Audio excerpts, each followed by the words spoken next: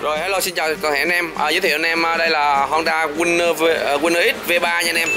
Thì uh, xe này á, là được bạn chủ xe ghé qua mình lắp một cái cặp đèn uh, trời sáng mini uh, mang tên đó là Kenzo Z20. Và đây là cái vị trí mà mình lắp vào trong cái uh, chặng ba nha anh em.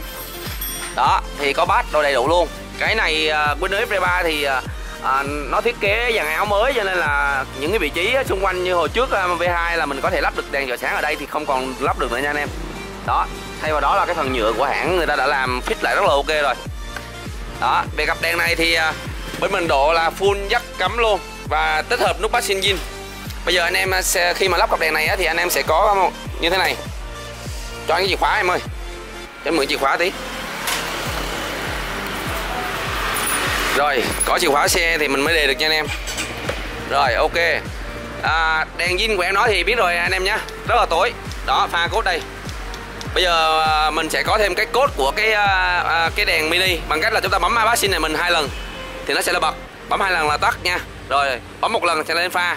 Đó bấm một lần lên xuống cốt thì cái, cái khi mà anh em lắp cái cặp này á bát xin thì nó sẽ chúng ta giữ thôi. Chúng ta giữ nó nó bát xin luôn. Rồi pha cốt của xe đèn zin là như zin nha. Cái cặp này khi anh em lắp lên á thì nó sẽ giúp cho là chúng ta nâng cấp được cái ánh sáng từ à, chúng ta có thêm cái cốt của cái mini đây là ánh sáng cốt nha anh em đó có thêm cái cốt bổ sung thêm cái cốt à, tại vì đa phần chúng ta đi cốt nhiều hơn là đi pha ha. Rồi thì à, cái này là toàn bộ lắp dây dinh nha anh em. Và có thêm cái à, cốt pha luôn đầy đủ cho anh em để anh em à, đi đêm cho an toàn hơn nha. Thì anh em nào có nhu cầu muốn lắp thì anh em ghé mình nha. Rồi cảm ơn anh em thật nhiều.